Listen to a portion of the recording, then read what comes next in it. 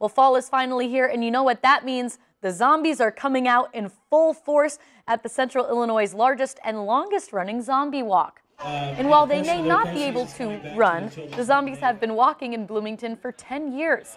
It's always free, and this year they took donations for Children's Home and Aid, an agency that serves low income families and children in Central Illinois. It's helping kids. It's helping community.